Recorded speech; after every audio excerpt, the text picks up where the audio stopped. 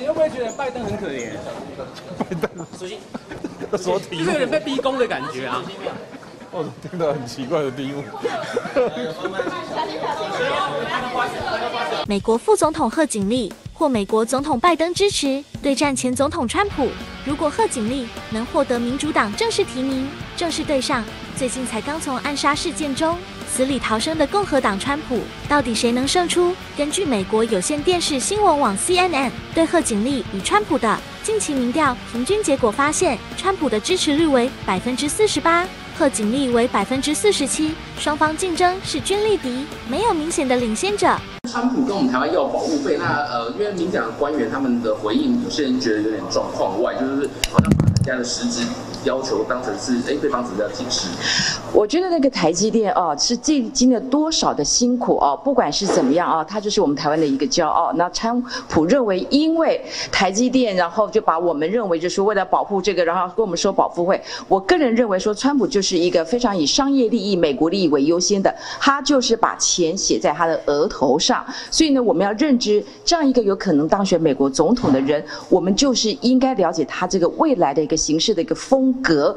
大家就直接一点，如果你认为说要来让美国可以保护台湾，或是台湾以后未来要加入任何的国际组织的话，你就跟他谈好条件，到底需要多少钱？我们把保护费把它明确化，把它的这个价格把它明定化。我觉得这对于美台之间未来来说，未尝也不是一个方法。对于一个这么直接可以把利益放在前提的人，不用讲太多所谓的民主、自由、共享的这样子的一个价值理念，反而是用一个非常具体的方法来，或许这对我们来说的美台关系会更加的明确化。你怎么看吴思瑶？他就有问他这一题，然后他说不用看川普怎么说，看他的副手怎么说，因为副手一直很紧张。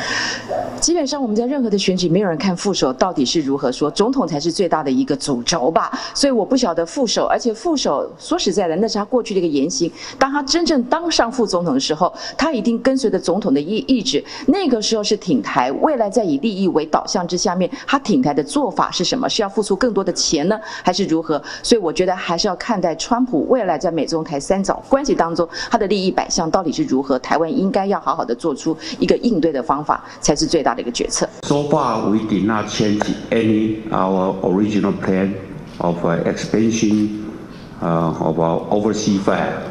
We continue to expand it in Arizona, in Kumamoto, and maybe future in Europe. Uh, no change to our strategy. We continue our current practice 怎么看川普今天接受媒体采访时，竟然说台湾应该要交这个保护费，还指控台湾抢了美国的这个晶片产业，会不会觉得说加这样的言论好像不是那么的公正？那现在就这个民进党不要再想内抗中。呃，我想川普不是对台湾这样子啊。那美国呢？从川普当选之后到拜登，到到了最近川普受到枪击，他又讲出这种言论啊，没有意外。他对日本也是一样，啊，对北约，甚至对其他国家，菲律宾等等，啊，川普的主张就是使用者付费。所以台湾如果需要美国老大哥的帮助，你就要拿更多的钱出来啊！所以这一点，我想大家要很理性的来看待。我们一定要避战，当国家的元首、领导人，你要有智慧，能够去谈判，来避战，而不是引战。当你引战的时候，各位想一想，我们所有什么社会福利什么都没了啦，只要开战了。那不但要面对强大的军费的支出，而且还要付大批的保护费，否则你根本不足以啊跟对岸来对抗。所以，川普讲出了美国对台湾的真心话。那我们要怎么共同面对台湾这个危机？所以要化危机为转机，就是一定要走和平的道路。两岸如果没有和平，我跟你讲。没有任何一个家庭能够承受得了两岸的兵戎相见。你怎么看这个美国啊的前总统川普说，美国一直保护台湾，应该要跟台湾收保护费？我相信啊，现在美国正在竞选当中啊，各种的主张都有啊，我们都是以一个审慎呃呃这个客观的一个态度啊。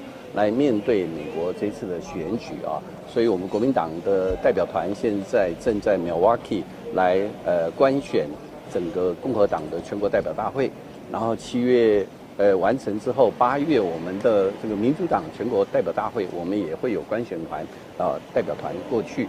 那我们都是呃听这些总统候选人或或或副总统候选人的一些重要政见，但是最重要的啊，还是中华民国要自立自强，我们自己能够把我们的国防稳定，然后第二个两岸关系能够啊沟通对话，这是国民党的主张，能够透过。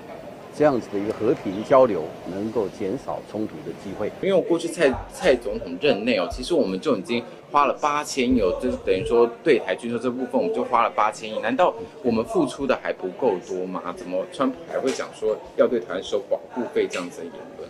要我们台湾付那么多钱？我们台湾有多少钱？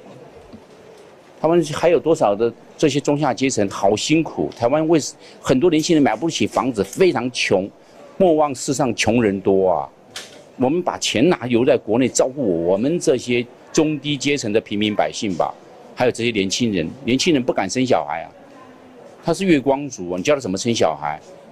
甚至有的年轻人是躺平族，根本没办法生小孩养，他养自己都有困难。躺平族，一个月四万多块，他租房子，还有他的交通费，还有他要吃，怎么办？所以他们今天讲到要我们付保护费，那不是便宜的数字，那是天文数据哦。要弄清楚哦，不是几千万、几亿的事情哦，是几百亿、上千、几千亿的事情哦。我们怎么办？我们这个钱为什么不留在国内搞我们的建设，搞我们的教育，搞我们年轻人就业的市场，搞我们的这些相关的电子产品的产业的升级，管我们的 AI 产业，我们的机器人相关机器的这些自动化的装备，我们为什么不这样走？无论要这样走，要釜底抽薪，我们要认清整个大环境。不要被美做美国的傀儡，我们要做自己中华民国的主人，而不要做美国的傀儡。我们都走错了方向，国家战略方向绝对不能错。泽伦斯基就把乌克兰带入毁灭，那我们为什么要步乌克兰的后尘？我们一定要非常的清楚！我们要自己做我们自己国家的主人，不要把这些钱平白送给美国人。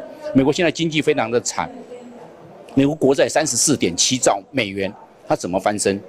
他就开始要对我们台湾动脑筋。我们台湾有一些钱。那我们台湾钱要留在国内照顾这些年轻朋友嘛？为什么要拿给奉送给美国人呢？对，有人买的这些武器，有的武器是不能用的。你那个 M 一三六的火山布雷系统，那在台湾可以用吗？都是平民百姓，你可以用这些布雷来来炸自己的人民吗？